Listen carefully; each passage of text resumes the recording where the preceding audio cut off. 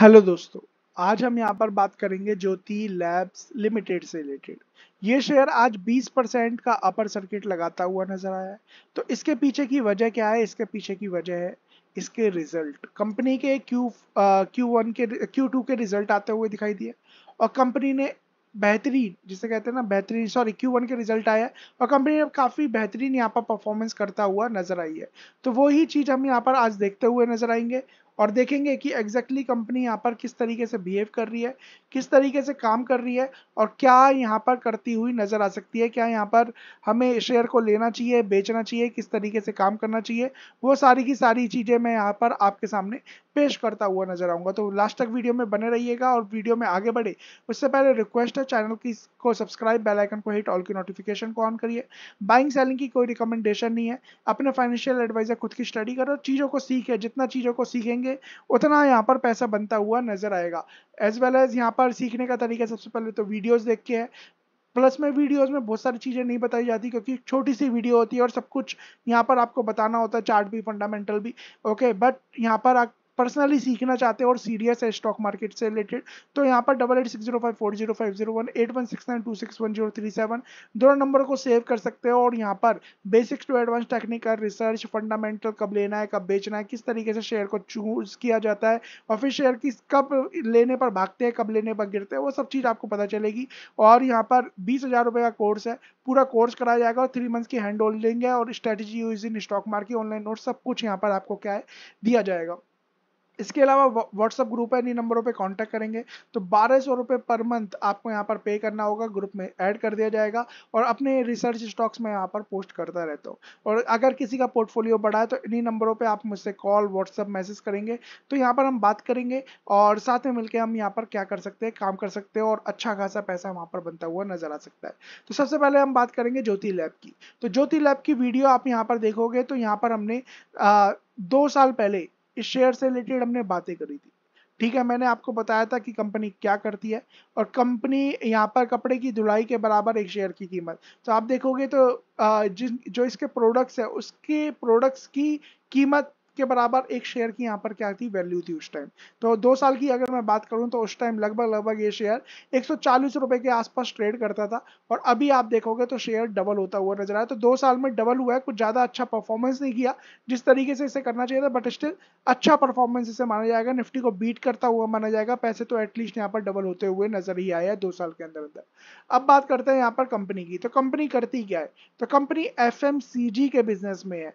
Okay okay, यहाँ पर आप देखोगे फाउंड इन 1983 में यहाँ पर फाउंड की गई थी और mister M P Ramachandra in Thrissur Kerala इनके यहाँ पर क्या है एम पी की कंपनी है और J L L is renowned brand domestic F M C G industry okay F M C G के प्रोडक्ट जैसे कि यहाँ पर आप देखोगे uh, मैं एक बार इनकी uh, इनकी वेबसाइट पर चले जाता हूँ ओके इनके ब्रांड दिखा देता हूँ तो आपको आइडिया आ जाएगा कि इनके ब्रांड कौन से देखिए मैक्सो जो यहाँ पर मॉस्किटो कॉइल्स वगैरह होती है वो यहाँ पर देखिए टी शाइन जो यहाँ पर प्रिल ओके okay, बर्तन धोने के लिए जो आता है मिस्टर वाइट जो यहाँ पर आ, सर्फ आता है एज वेल एज यहाँ पर उजाला काफ़ी लोगों ने यहाँ पर यूज़ किया होगा ओके okay, यहाँ पर हैंको एक्सो और मैग्रो के जो यहाँ पर प्रोडक्ट्स आते हैं तो ये सारे प्रोडक्ट्स कौन है?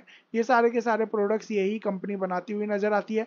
हम डेली यूज़ में यूज़ तो करते हैं प्रोडक्ट्स पर हमें कंपनी के बारे में नहीं पता होता कि ये कंपनी किसकी कंपनी है। ठीक है, ये जो ब्रांड है, जो हम प्रोडक्ट्स यूज़ कर रहे हैं, वो किसकी कंपनी है? एक बार आप पीछे मुड़ के हमेशा कंपनी के बारे में देखा करो, क्योंकि जो भी स्टॉक्स है, वो क्या है? आपके सराउंडिंग में है, चारों तरफ़ है। आप देखोगे तो आपको यहाँ पर पता चलेगा कि ये ये कंपनी है। तो आप उसके बारे में रिसर्च करोगे तो यहाँ पर अच्छा खासा पैसा आपका बनता हुआ नज़र आएगा। तो कंपनी की बात करें कंपनी अच्छा खासा है मैनेजमेंट के बारे में पढ़ लीजिएगा प्रोडक्ट यूज़ होते ही है, वो आपको दिखाई दे रहा है। आप बात करते हैं कंपनी के रिलेटेड तो कंपनी की यहाँ पर हम बात करें तो यहाँ पर देख सकते हैं, लगभग स्मॉल कैप कंपनी है, दस हज़ार छह सौ इक्यानवे करोड़ का मार्केट कैप है।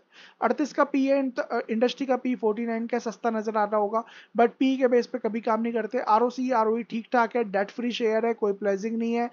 टू नाइनटी वन का आज इसने फिफ्टी टू वीक हाई भी लगाया ऑल टाइम हाई भी लगाया है। तो मैक्सिमम चार्ट पैटर्न की बात करें तो यहाँ पर आप देखोगे तो दो हज़ार अठारह का ब्रेकआउट होता हुआ भी नज़र आया, जिससे हम चार्ट पे चलेंगे, तब बात करेंगे। एज वेल एज यहाँ पर देखिए कंपनी के आए हैं रिज़ल्ट और कंपनी हाईएस्ट एवर तो सबसे पहले रेवेन्यू ईयरली क्वार्टरली और पिछले बारह क्वार्टर का। ऑपरेटिंग प्रॉफिट की बात करें 117 करोड़ का ऑपरेटिंग प्रॉफिट। तो यहाँ पर देखिए ईयरली क्वार्टरली दोनों बेसिस पे हाईएस्ट एवर है। नेट प्रॉफिट की बात करें 96 करोड़ का यहाँ पर प्रॉफिट है। 48 और 59 कर, आ, करोड़ के मुकाबले यहाँ पर देखोगे तो लगभग डबल ही यहाँ पर प्रॉफिट ईयरली बेसिस पे आता हुआ दिखाई दिया है। तो 100 परसेंट की जंप यहाँ पर प्रॉफिट पर हुई है। तो यहाँ पर क्या है कंपनी अच्छा खासा यहाँ पर दिखाई दे रही है। यहाँ पर ईयरली बेसिस पे परफॉर्मेंस अच्छा खासा है कंपनी का नेट प्रॉफिट अच्छा खासा है as well as revenue company के रिज़र्व है अच्छे खासे। बोराइंग ना के बराबर रह गए हैं। पंद्रह करोड़ रुपए वर्किंग प्रोग्रेस में लगा रखे इन्वेस्टमेंट में कंपनी का है नहीं बट कैश की बात करें तो यहाँ पर आप देखो, दिख रहा होगा कि लगभग दो करोड़ का कंपनी के ऊपर कंपनी का कैश भी है। 2018 में यहाँ पर कंपनी एक बार सॉरी 2012-18 में वन रेशो वन का बोनस दे चुकी है। एक बार कंपनी स्प्लिट हो चुकी है ओके कंपनी का मर्जर भी हो चुका है। डिविडेंड की बात करें कंपनी बैक टू बैक हर साल डिविडेंड दे रही है अच्छा खासा। तो यहाँ पर क्या है कंपनी हर तरीके से डिविडेंड बोनस ओके okay, यहाँ पर स्प्लिट सब प्रोवाइड कर रही है। यहाँ पर आप देखोगे promoters promoters as it is 62.89 percent की होल्डिंग लेके बैठे हुए हैं। एफ़ की बात करें एफ़ लगभग 14 परसेंट है हिस्सेदारी बढ़ाई है लगातार। डीआईस की बात करें डीआईएस की हिस्सेदारी थोड़ी सी कम हुई है बट स्टिल पंद्रह परसेंट से ज़्यादा की हिस्सेदारी है। और पब्लिक के पास कितनी है? मामूली सी सात परसेंट की हिस्सेदारी है। तो यहाँ पर क्या नज़र आता है? यहाँ पर नज़र आता है कि चीज़ें काफ़ी अच्छी यहाँ पर दिखाई देती है। अब बात करेंगे चार्ट की, कि चार्ट यहाँ पर क्या कह रहा है? क्या लेना चाहिए अभी तुरंत ही? लंका में कूद जाना चाहिए, ठीक है? या फिर हमें थोड़ा सा वेट करना चाहिए और एक स्ट्रेटेजी बना के काम करना चाहिए।